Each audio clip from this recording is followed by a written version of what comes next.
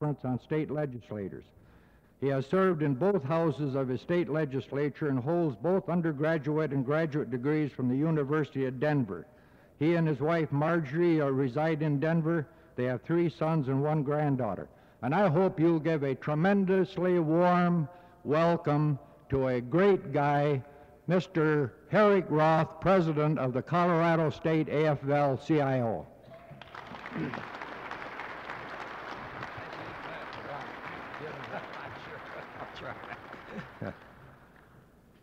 Well, thank you very much, uh, Brother Cliff Schrader. You know, when somebody introduces someone, the problem is that you don't know whether you're clapping for the person about to speak or the one who just spoke, but I've had a warm spot in my heart for Cliff Schrader ever since the day that I first met him. Uh, struggling as he must in the leadership of having workers in this state, let alone people in this state, understand what organized labor is all about. And uh, why don't you just give a special hand to Cliff Schrader before I begin?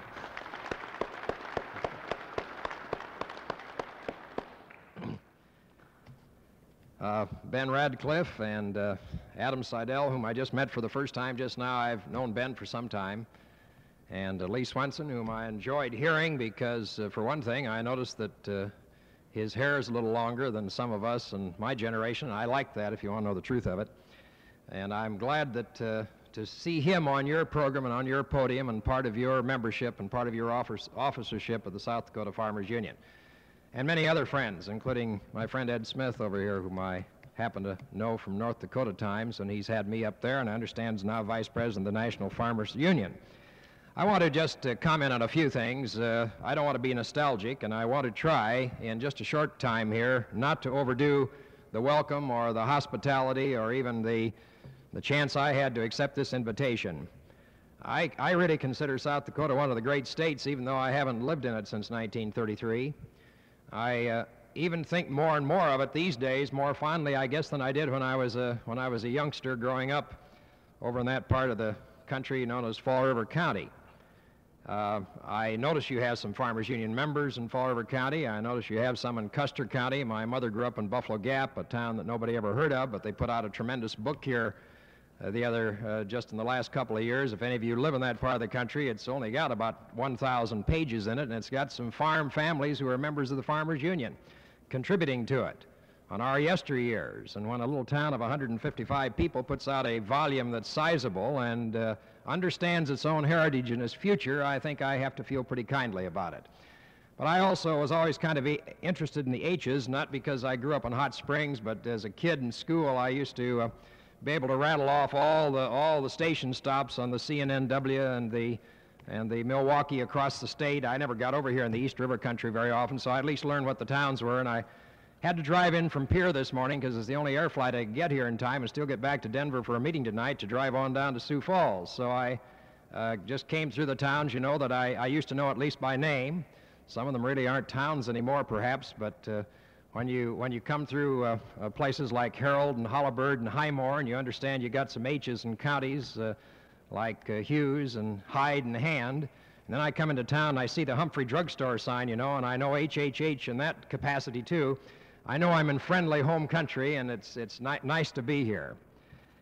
There are a lot of a lot of things I really want to say today, and I can't say them all. Uh, several of you have already stopped me and said, Oh, yes, we see you on TV every Sunday. In fact, one person let me know that he saw our last Sunday's program, and if you saw that one yesterday, I guess you understand a little bit about some of the some of the kinds of people that we have in the trade union halls in this country. Because the people at the count are the people who are in the trade union halls. And uh, the people that sometimes don't count and don't count just right or uh, get too high up in society and uh, for, for forget about the fact uh, the people that they're trying to represent. And I think in Colorado here, uh, we at least have, have made a stand, and our stand was just to go right ahead and go directly to the point. We went ahead and endorsed the McGovern Shriver ticket on August 7th, and then we were told to rescind or take disciplinary action. I'm not going to go through all of that with you, except to say that on August 30th we had a hearing. A federal court judge just noted that that hearing seemed to be very robust. He read the transcript. He says, I, I, can, I can observe very plainly why the witnesses on the stand have said that it was not a hearing. He says, It's very true, it certainly was not a hearing. He says, It's like Alice in Wonderland, you know. I shall be the judge and the jury. And then, of course, you eventually go out and cut off your head and you execute. And uh, the judge, the jury, and everybody came to, came to Denver on August 30, and they wrote a report. And then we were ordered to put under, be put under trusteeship, and so we decided the law of the land certainly ought to be good enough to interpret even the AFL-CIO Constitution, which incidentally is a good Constitution. So we went into court, and that, uh, that Constitution, from our point of view, was properly interpreted. And last Monday afternoon, at least to the, uh, to the good feelings of the trade unionists of the state of Colorado, and I hope all across the countryside, even though we'll have to continue to battle appeals all the way up, and even though, as Cliff Schrader and I know, the status of the AFL-CIO in Colorado really won't be known until November, but not November 1972, November 1973, at a convention of the AFL-CIO, probably again down in non-union Miami. Uh, and at that time, we'll find out whether our fate was sealed or saved on the date of last Monday by the federal court. But in the meantime, we're very much in business, and we have some lively trade unionists, and uh, I'm happy to report that I could come. When Ben called me, I said to Ben, well, I'm, uh, if we're not out of business, we're not out of commission, in which case you can decide whether you still want me to come up, and Cliff Schrader can still decide whether you want me to come to Huron. Why, I'll, uh, I'll, I'll, think about it. But I did, uh, I am glad that I'm here today, and I'm very much official, and I'm very much AFL-CIO, and I'm very much in an elected position that I was elected to. And so I'll speak with as much authority as it seems to me I'm now entitled to speak.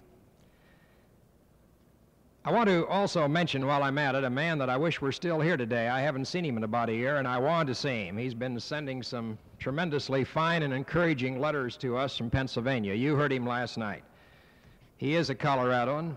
he uh, had a lot to do with the lifeblood of this organization of yours, not just in South Dakota, but all over this nation for the farm families. He's a guy who understands what collective bargaining is all about, and I suppose one of the great grievances that he probably still has to this time is that the laws of our land do not define the way farm families can really bargain for their rights. And it's a cinch that we wouldn't have to apologize along the line, any place, any place, for what the price of the final product is in the supermarket, whether it's operated by union clerks or not. We wouldn't have to, we wouldn't have to holler about that price if we really knew that the people who are at the basic production end in our society were one, still family farmers, and two, had bargained for their own price and bargained for it right. It doesn't take deals, and I'm not here to give a big political speech today, but it doesn't take deals to sell wheat through certain kind of subsidized special capital interests in this country and then let you here who are the wheat farmers in this state and in eastern Colorado and in North Dakota and all the great wheat states of the country. There's no sense of our kidding ourselves that there was any bargaining in terms of that price. There was a bargain, all right, but it was a closed door bargain. It was a behind the scenes bargain. And it was a bargain aimed at making profits, not for the people who were on the land that produced the wheat.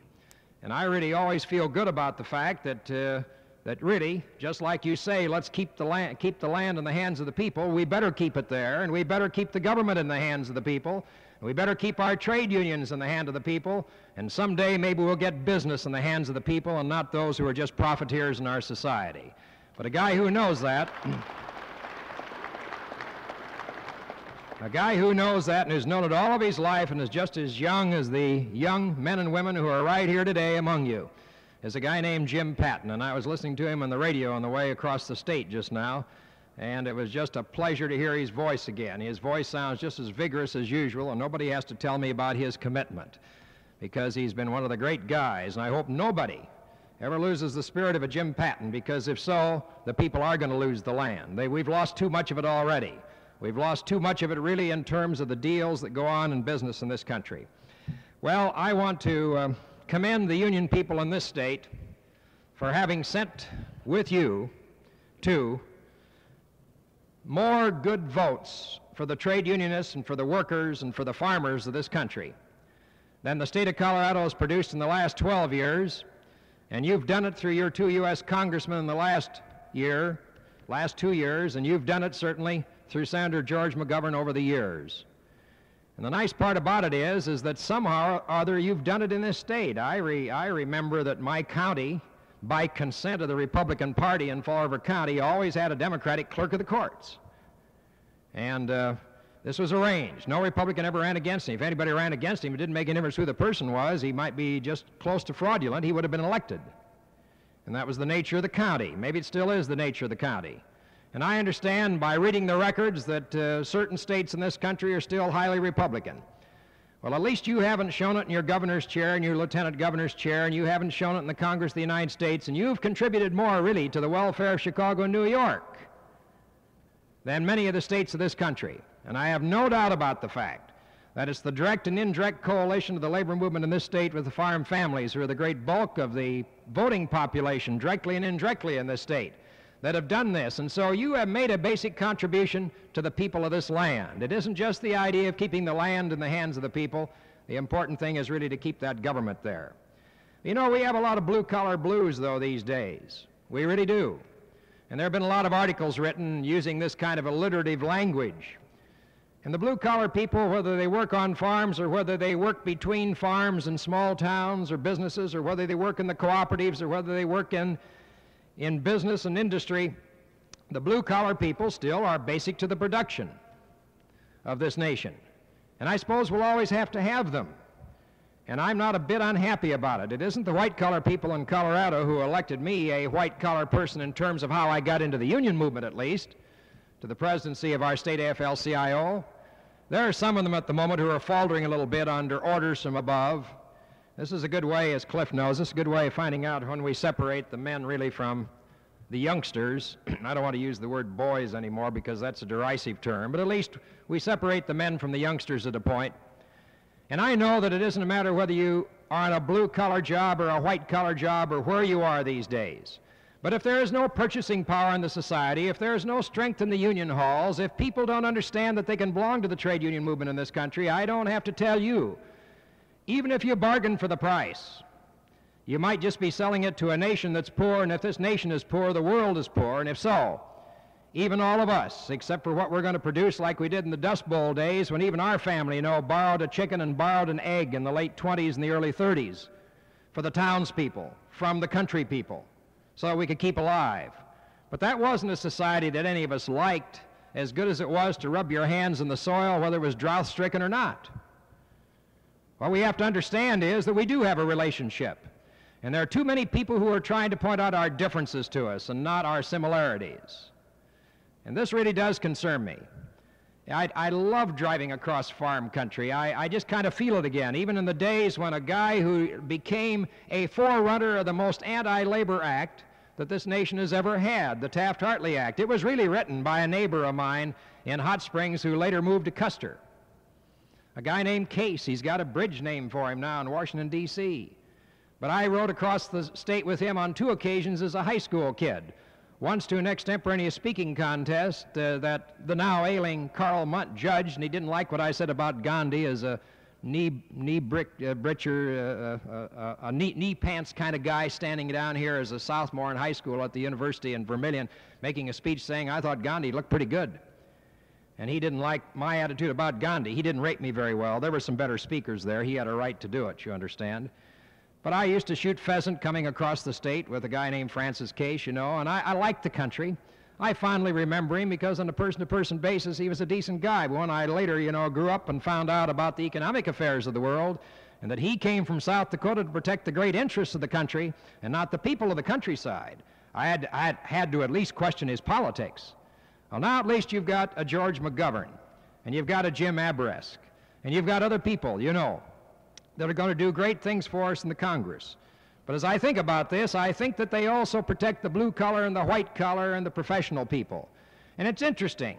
It's interesting that the white collar people who are not organized in this country because of amendments to the Taft Hartley Act, because of the compulsory open shop in states like South Dakota, and there's no sense of kidding ourselves about it. It's bad for people, even if you think the price of labor is too high.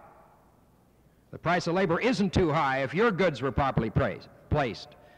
But you see, the white collar person in this country taking all of the best jobs in the country and putting them together, all the present administration can now tell us is they average $95 a week in gross income if they have a job. 95 bucks a week. Well, you think of your own pocketbook if you want to for a moment. That's the average on the white collar guy, and less than one out of 20 belongs to a union. They're in service trades, they're in offices, they're in medical centers, they're in banks, they're in the business offices of the great corporations of our land. They look forward to that retirement watch someday and hope that Social Security is high enough to take care of them because probably the company isn't going to. Well, just above them are the less skilled and the unorganized blue collar people. They get all of $14 a week more. And even the highly skilled people from great trades like the plumbers and fitters, like Cliff Schrader's union, are only averaging 43 bucks a week higher. And all that the people who work for a living and draw a wage, all that the people have to show, is for their capital investment, their labor. And yet there isn't anybody in this great wealthy country of ours, even though the per capita average income against the top 5% of the country now averages over $100,000 adjusted gross per family per year. The average of even the highest skilled in the trades across this nation, in the blue collar trades, the best paid of all American workers, is slightly less than $700 a month. Well, it's one of the reasons, you know, that uh, we don't necessarily value what comes from your farms, from our farms, from our land, from the people. So, what the farmer's world is all about is what the laborer's world is all about. And anybody who has any dignity about him appreciates both because your capital is not only your land, your capital is your own labor. We have a lot of bridge crossing we have to do of our own. And I don't want to take too long in uh, extending my remarks, except to say that I'm going to leave with Ben copies of things that I think are pertinent to our relationship. For one thing, I think you might as well read the court order that we were handed in Denver, Colorado, which says that there is democracy promised in the AFL-CIO, and the Colorado Labor Council did nothing more than try to protect it. This was a conservative Republican judge appointed by the Nixon administration who nonetheless followed the law the, of our land as he sat in the court's bench. We were told by our liberal Democratic attorneys, don't go to court, Herrick, you're going to get murdered because you've endorsed George McGovern. And we went to court and we got a just decision out of the courts of the land. And it's a good thing that courts still can give just decisions. Well, I think, Ben, you and your people here will like certain parts about this because it even quotes what the AFL-CIO Constitution's all about. And then I heard Cliff speak about Proposition E, and I was just talking to Ben about it here as Cliff was speaking, and I said, uh, I think I know what it is, but tell me quickly. And he says, Well, you know, only the legislature has been able to refer changes in our Constitution. Then I remembered back to a convention where Cliff had me and Mitchell just a few months back. And I remember this proposition, and you had best pass that proposition. I'll tell you why. The only good changes we've had in the Constitution of the state of Colorado since 1876 were all initiated by the people. We have not had a single constructive change made in our Constitution referred by the legislature. All they ever do is do technical changes because legislators, as much as we respect representative government, primarily are in somebody else's pocket and I don't mean to demean anybody who sits in Pierre or Denver, Colorado or Albany, New York. But I served six years and six knowledgeable years in the legislative body, and I watched too many, in the modern language, too many of my colleagues flake off when the going got tough because the dollars were someplace else. And therefore their votes were dictated to by dollars and not by this. We've got four initiatives on our ballot in Colorado this year. And Ben, I want you to look at these. Not that we're going to get these passed. We've got a $180,000 campaign being waged by the insurance industry against one of them. We're going to get $5,000 together to answer them. On no fault auto insurance, which will be the best law in the country if we can pass it. They're trying to tell us it's not as good as Massachusetts law, which has already reduced premiums 42% in three years. You just smoke that one, even in terms of farm vehicles, if you want to, in your own pipes, in your own farmland, and determine what that is and what you're now paying. And then we've got another one on here on tax reform, and Cliff mentioned tax reform, and I heard Ben's report mentioning tax reform to you. Don't kid yourself that property taxes are fair, even if you think they're fair. Don't let anybody talk you into the fact that you need a base for your school district, which is in your property, whether it's your cattle or your sheep or your farmland or whatever you produce on it, whatever they say the value is. There is nothing equitable about it.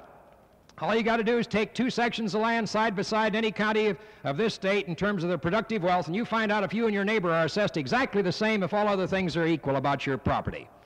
You take it and find it out, and then you'll find out that no county assessor can ever do it for you.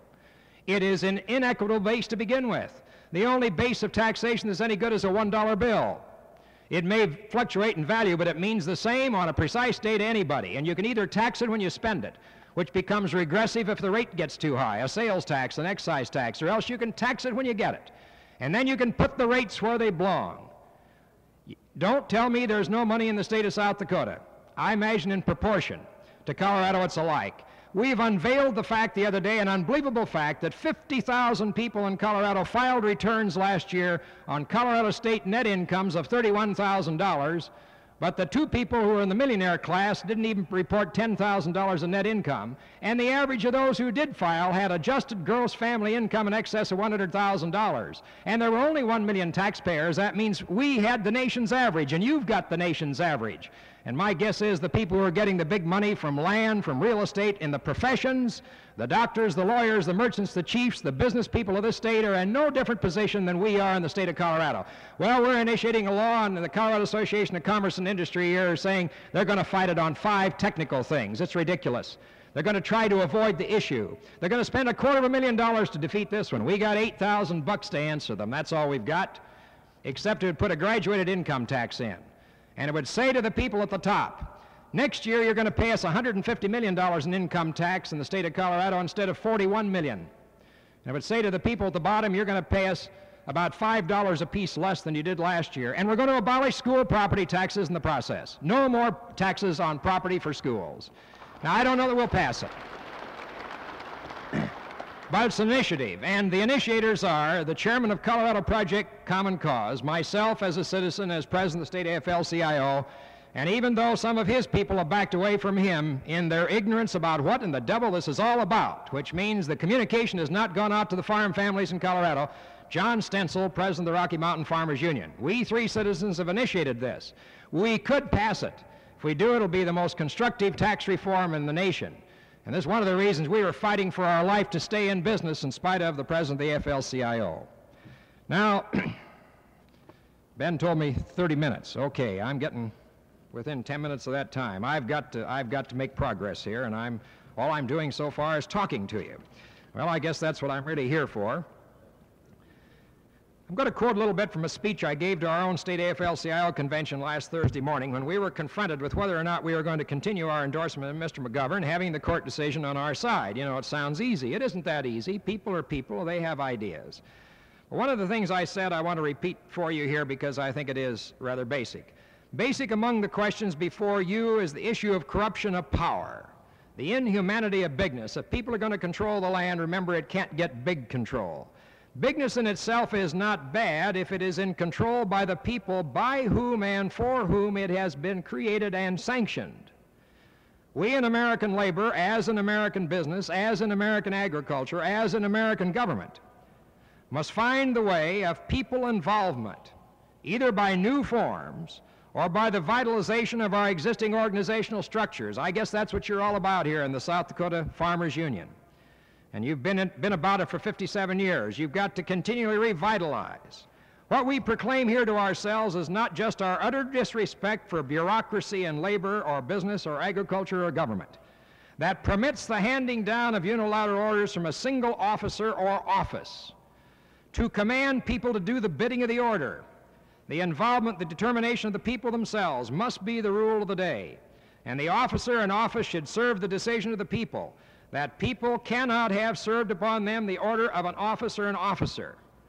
Power that emanates from the program and the vote of the people who are to be affected by the administration of that power, be affected by the administration of that power, does not in itself corrupt until the administrator abuses the power. And I'm going to speak about that in my last seven or eight minutes here. But listen to this people who, by apathy, by indifference, or by fear, refuse to end the abuse, even while they recognize it for what it is, then they delay the day of just decision. I saw these windbreaks across here as I came along. I don't have to tell you that the farm families in South Dakota weren't that smart in late 1920s or 1930s. I don't have to tell you that we did a lot of crazy things in the early 30s after Mr. Roosevelt became president. I don't have to tell you this state didn't the first time vote for him. But I do have to tell you that people did find out they could rescue even in times of drought a certain amount of the productive value and wealth of farmland. Well, that eventually came because the people, instead of letting there be an, an, abuse of corruption of power in our government, finally turned it around, at least for a while. There happens to be a great guy in Denver, Colorado, who is a former publisher of one of the few independent newspapers left in this country. The attempt at the moment is to control it. It's the Denver Post. It isn't the best newspaper, and we fight with it all the time, but at least it's independent and made independent political judgments. A guy named E. Palmer Hoyt was the editor and publisher. He managed to maintain the independence of that paper for the last 25 years, even while creeping bigness is now coming in to take over its stockholders and really to put it in probably one of the most conservative postures of any newspaper in the country. But Palmer Hoyt called us the other day and he says, My God, Guy, do you know what you're doing? And I thought he was going to give me hell. He's retired now. In his retirement contract, he gets an office and a secretary from the Denver Post, but no policy control. He says, You're taking on the big guys. But he says, And the big guys are wrong. They're supposed to be taken on. He says, If you don't know it, you're setting a classic, a classic example for the people in the trade union halls. I said, Well, thank you, Paul Epp. I didn't really know what you're going to say to me, but thank you very much. He said this in a speech on August 14. He sent it to Sarge Shriver, and when Shriver came to town the other night, he hadn't read it yet. So I handed it to him and told him to read it on the way out to a political rally. That Ep Hoyt was back there in the hotel where we were, and when he came back, he better sit down and talk to Mr. Hoyt. And incidentally, he read enough of it to put some of his speech that same night, last Wednesday night. This is what Hoyt says. There are several very dangerous and seriously unregulated monopolies. One that I want to talk about is the newspaper field, where the chains are getting bigger. The Gannett chain now numbers 54. It was 30 20 years ago. Newhouse has 22. He had two. The Lee papers have several score. I believe Lord Thomson, an alien, has now 52 papers completely under his ownership in the United States. Because as newspapers are combined into big chains, they become more a part of big business and big government, and they get along very well with big business, which has a tendency to want to keep big government, present big government, in power. With the electronic press under the government's thumb, it'll be a sorry day for our country if the printed press gets itself in the same position. And speaking of monopolies, the worst monopoly of all is the monopoly entirely unregulated of conglomerates, both international and national, because it leads to the monopoly of money. I wrote in a letter to Hubert Humphrey during his primary campaign, and he, in a Philadelphia speech shortly thereafter, even though his campaign was not successful, returned to the, referred to this country as properly a country of money, by the money, and for the money. And then he went into, he says, the first piece of legislation that Adolf Hitler put through in the Reichstag, following the election by the people, which he underscored, was to refuse incorporation papers from that point on of any concern of less than $200,000. That's in our money. That'd be worth $2 million today in this country. And to seek to disenfranchise any firm that then existed with only $40,000 and less in assets and capital. In other words, big government likes to deal with big business. As I've said before, if the McGovern group can keep the young voters and getting out that young group, I think they've got an excellent chance to win. It isn't only the youth that's unhappy about the situation of the monopolies, but the older people of, as well. I praise youth, and I say so to this audience and he was speaking to an audience that was 65 years of age, average. He had them write down their age, and he took them out and had, had his secretary put them on a, on a business uh, tape for 300 people, and they turned out to be 65. So he says it's a good thing that there is a generation gap, particularly since it's a moral gap, and that the younger generation now seek different goals, different patterns of government. They're fed up with us as the establishment. I said it's high time that the younger generations come along and give the older generation a real kick in the pants. This audience, of course, he writes to Shriver then, didn't particularly like what I said until I started mentioning things that youth wanted to know. For instance, how can we send a man to the moon and bring him back on a split second basis via computers? But somehow that we just can't make pollution free automobile engines. Well, I'm not going to read you the rest of this, except to say that 3% of the people in this country happen to own 40% of all the wealth of this country, and happen to own 80% of all the movement of money of this country in five banks.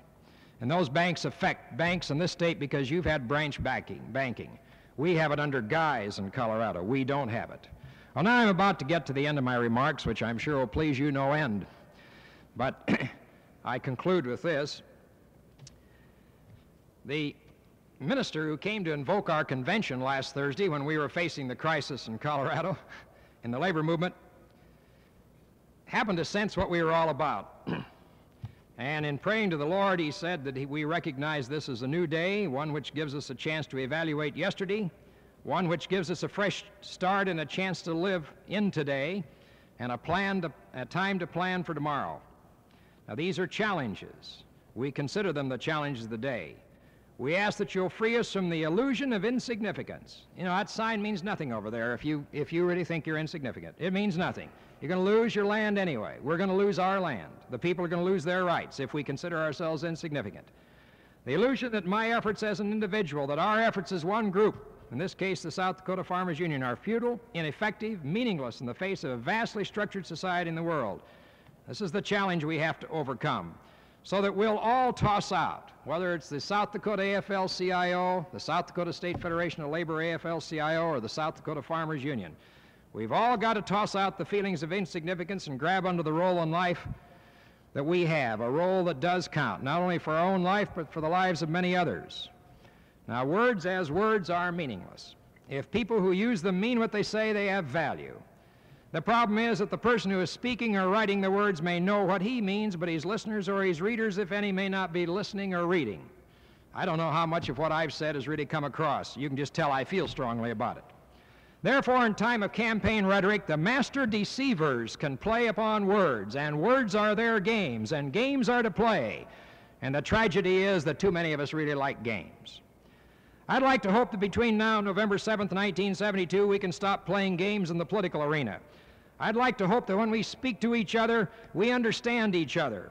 I would like to hope that we could see each other as we really are, that candidates in high places would understand that they are not one bit different than any of us here, except that we have, they have a greater responsibility than anyone else in America to be different only in one respect.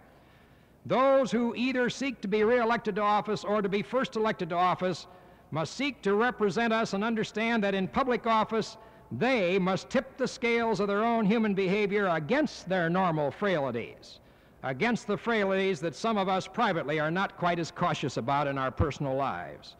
What I'm saying here is that Richard Nixon is a human being, that George McGovern is a human being, that each of us is a human being, but in the high offices of our nation, we had not best play with words or play games in 1972.